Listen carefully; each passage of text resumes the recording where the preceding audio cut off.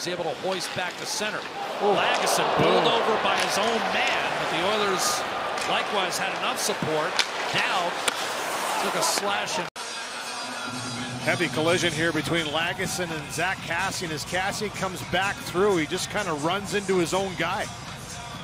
That's a dangerous looking hit as the stick was up by the throat area there. Lagesson, though, stays on the bench, shook it off, put his